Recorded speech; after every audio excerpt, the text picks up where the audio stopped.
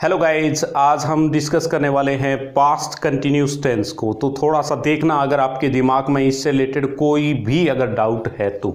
देखिएगा past continuous tense के बारे में जब भी हम बात करते हैं पास्ट कंटिन्यूस बोला जाता है वोज या वर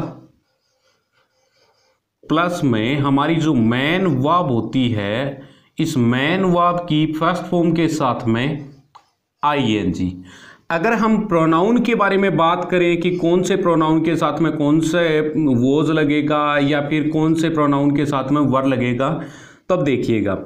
आई ही सी और इट इनके साथ में लग जाएगा वोज और अगर यू वी दे ये प्रोनाउन आपका सब्जेक्ट हो तो इनके साथ में लग जाएगा वर। इसके अलावा अगर अपने नाउन के बारे में बात करें तो नाउन अगर हमारी सिंगलर है तो फिर उसके साथ में वोज लग जाना है। अगर वो नाउन हमारी अनकाउंटेबल है तो अनकाउंटेबल नाउन के साथ में भी क्या लग जाना है? वोज लग जाना है। और अगर हमारी नाउन है, वो प्लूरल है तो फिर उसके साथ में क्या लग जाएगा? वर लग जाएगा। यहाँ इससे रिलेटेड कई बार पूछा जाता है कि आई के साथ में क्या लगेगा? तो आई के साथ में पास्ट कंटिन्यूस के अंदर वोज लगेगा। वो स्पोचिंग वाले सेंटेंस होते हैं इमेजनरी वाले सेंटेंस होते हैं हाइपोथेटिकल सिचुएशन वाले सेंटेंस होते हैं, जिनमें आई के साथ में वर लगता है। उसमें केवल आई के साथ में नहीं, बाकी सभी के साथ में वर ही लगता है। अब देखिएगा, यहाँ पर अपने इसको और अगर ज़्यादा समझे तो इसके कुछ एक यूसेज है। तो यूसेज को देख लेते हैं।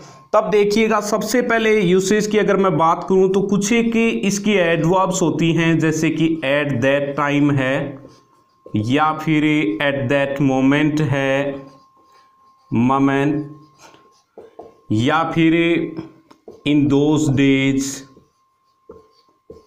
in those days या फिर देन है एटसेट्रा इनके साथ में ये एडवर्ब हमें ये बताती हैं कि इसमें कौन सा टेंस आएगा या कौन से टाइम के साथ में ये चीज़ें चल रही है। जैसे मैं यूँ बात करूँ कि at that time at that time he was he was playing cricket he was playing cricket with his friends, with his friends. तो इस सेंटेंस के अंदर क्या है?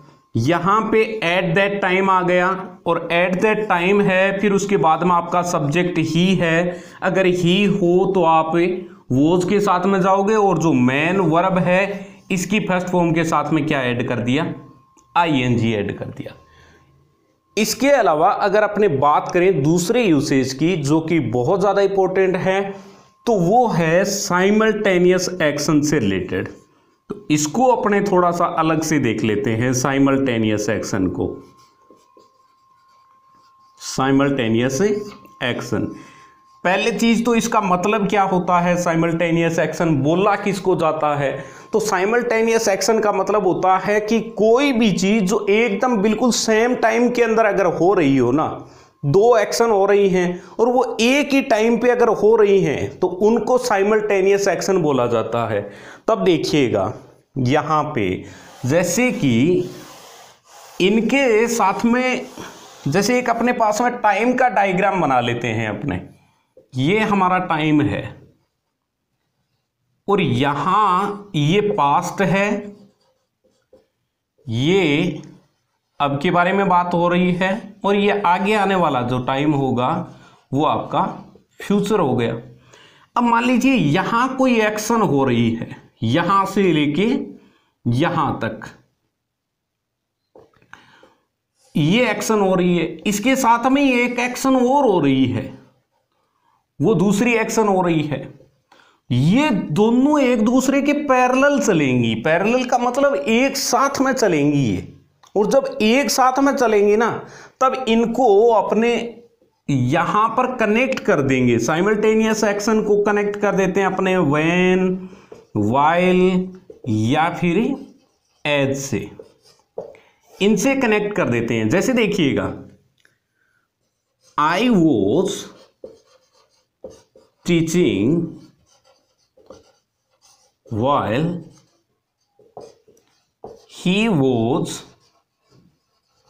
watching TV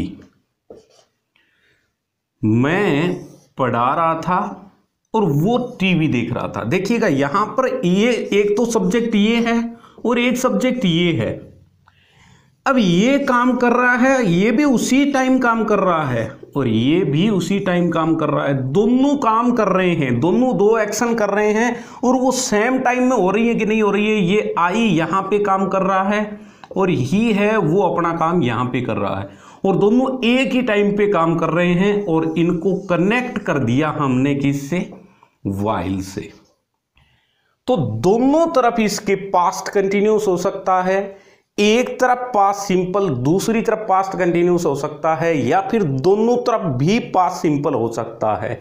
इस प्रकार की साइमल्टेनियस एक्शन वाले सेंटेंस के अंदर। जैसे देखिएगा when I when I enter the room enter the room he was watching TV, वो टीवी देख रहा था। तो यहाँ पे देखिएगा, ये पास्ट सिंपल है। आई के साथ में यहाँ पे आपने पास्ट फॉर्म लगा रखी है और यहाँ देखिएगा, पास्ट कंटिन्यूस। इसका मतलब क्या हुआ कि ये टीवी उस कमरे के अंदर पहले से देख रहा था और ये इस कमरे के अंदर अब इंट्रू हुआ है। तो यहाँ पर एक तरफ़ पास सिंपल और एक तरफ़ पास्ट कंटिन्यूस भी आ सकता है इस प्रकार। या फिर मैं यूँ बात करूँ कि when I knock the door when I knock the door she open it जब मैंने दरवाज़ा खटखटाया तो उसने दरवाज़ा खोला। तो यहाँ पे देखिएगा, ये चीज़ पास सिंपल में है, यहाँ एक बार फिर पास सिंपल है, दोनों तरफ़ पास सिंपल भी हो सकता है। तो ये यहाँ पर दोनों तरफ़ पास सिंपल हो सकता है, दोनों तरफ़ पास्ट कंटिन्यूस हो सकता है, एक तरफ़ पास सिंपल और एक तरफ़ पास्ट कंटिन्यूस हो सकता है। किन में? साइमल्टेनियस एक्शन में। साइमल्टेनियस एक्शन का मतलब एक ही टाइम पे दो एक्शन हुई और दोनों एक ही टाइम पे हुई पैरेलल हुई तो उसको अपने साइमल्टेनियस एक्शन बोलते हैं। जैसे देखिएगा, इनके साथ में अगर डेली रूटीन से रिलेटेड बात करें तो प्रेजेंट भी आ सकता है। जैसे my phone always rings when I'm having a bath. मैं जब भी नहाने जाता हूँ ना तो मेरा फ़ोन बजने, बजना शुरू हो जाता है। ये यहाँ पर स्पीकर यूँ कह रहा है कि ये चीज़ इसके साथ में डेली हो रही है। मतलब डेली बेसिस पे हो रही है। यहाँ टाइम है, वो टाइम इंपोर्टेंस नहीं रख रहा है, क्योंकि ऑलवेज आ गया। ये पूरे टाइम को ही कवर कर रहा है। मतलब ये यूँ बता रहा है जैसे कि अब तक ये ही होता आया है इसके साथ में। तो यहाँ पर इसके साथ में अपने प्रेजेंट सिंपल भी लगा सकते हैं। देखिएगा यहाँ पे। अब आपके दिमाग में एक क्वेश्चन उठ रहा होगा इसको देख के कि यहाँ पर हैविंग कैसे आ गया? यानी हैव जो है, वो तो नॉन प्रोग्रेसिव वर्ब होती है, इसके साथ आईएनजी कैसे लग गया? तब बता देता हूँ कि हैव जब पोजीशन शो करे मतलब कोई अधिकार अपना उस आगे वाली चीज़ के ऊपर दिखाए, तब हैव के साथ में अपने आईएनजी ऐड नहीं करेंगे तो उस समय वो नॉन प्रोग्रेसिव होती है। अदरवाइज़ अगर हैव के आगे कोई डी वर्बल नाउन आ जाए, यानी कोई ऐसी नाउन जो वर्ब से फॉर्म हो सकती है तो उसके साथ में अपने आईएनजी हैव के साथ में उस समय लगा सकते हैं। मेरा कहने का मतलब इतना अक्सा ही है कि हैव के साथ में या जितनी भी पजेशन वाली वर्ब हैं, उनमें से हैव के साथ में अगर हैव वहाँ पे पोजेशन शो नहीं कर रही है, कुछ और उसका मीनिंग निकल के आ रहा है तो उसके साथ में आईएनजी आराम से लग सकता है। जैसा कि इस सेंटेंस के अंदर लग रहा है। तो आई होप कि आपकी ये सारी चीज़ें अच्छी तरीके से समझ में आ गई होंगी। ये बस एक कुछ एक यूसेज थे। पास्ट कंटिन्यूस के. Thanks for watching this video